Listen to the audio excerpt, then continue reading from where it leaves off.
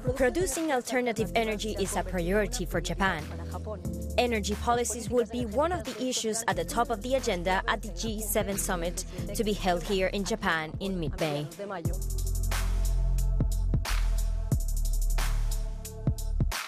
Japan aims to reach between 36 to 38% of renewable power supplies and reduce its greenhouse emissions by 46% by 2030.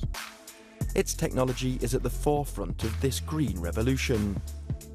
We travelled to the remote Goto Islands in the prefecture of Nagasaki in the south of Japan to visit a milestone offshore floating wind farm.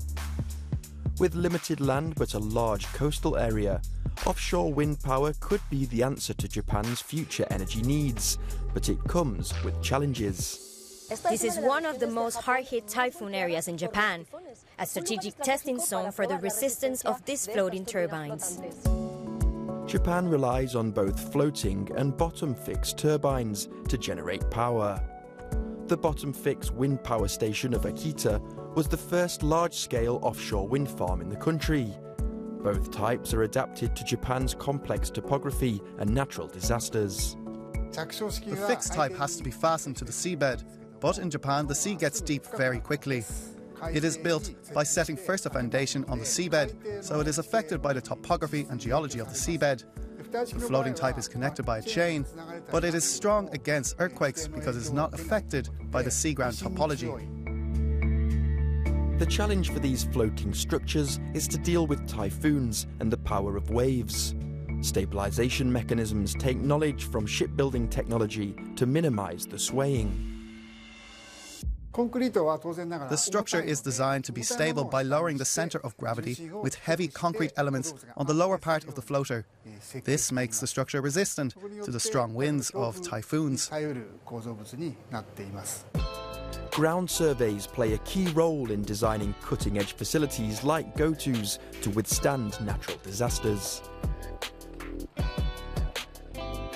Professor Ishihara is one of the most renowned engineers working on risk evaluation of wind. In the case of Japan, not only are strong typhoons blowing, but the usual winds are not very strong. Therefore, we need to solve those two problems at the same time. One solution is to lengthen and slim down the blade. By increasing the length, the normal power generation also increases. Thinner blades also reduce excess wind during typhoons. By using Japanese carbon fiber technology, it is possible to create very long, thin, and strong blades. Goto Wind Farm will start commercial operations in January 2024. Here in the port of Kobe is the world's first liquefied hydrogen carrier. Hydrogen is another clean energy that Japan is focusing on. It was the first country to draw up a hydrogen strategy in 2017. Now it's planning an ambitious new target to boost annual supply to 12 million tonnes for 2040. Hydrogen is produced in Australia and shipped to Japan by sea, freezing it to minus 253 degrees Celsius and compressing it into a liquid. It's done the round trip twice since it was launched in 2021. Here we have the hydrogen tank. Here in blue you have the mount, and under there is the tank. The size of the tank is 1,250 cubic meters. Kawasaki Heavy Industries has developed a full hydrogen supply chain in Kobe, providing heat and power supply to the urban area. Japan relies largely on the import of hydrogen. To use it as a regular energy source, it's necessary to reduce the costs. The cost of hydrogen can be reduced by transporting it in larger quantities. In order to bring the cost down to the same or even less than fossil fuels, it is necessary to scale up first. To reach that purpose, we will build large ships and also large tanks at the receiving base.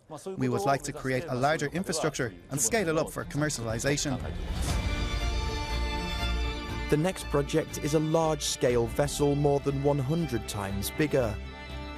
With this focus on innovation, Japan is pioneering the global clean energy transition and moving closer to achieving its climate change ambitions.